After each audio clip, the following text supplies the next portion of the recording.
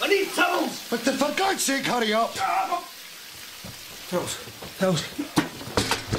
Oh, that's marvellous, you clown, isn't it? Right, you need to go get a bloody sponge. Jack!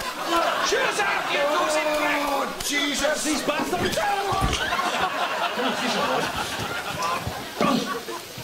What the bloody hell has happened in here? I couldn't they find the stopcock.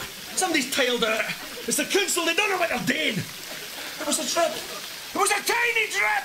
What are you shouting at me for? Oh, do you know what? Stick this up your ass. I'm off! You listen to me, you big bastard, you. You're supposed to be painting and decorating in there, and we've not even opened a roll of paper. Jack. You are not going anywhere until you get in there and sort that trouble out. Jack. You get in there, boy, and find that stopcock. Jack! What? The wall.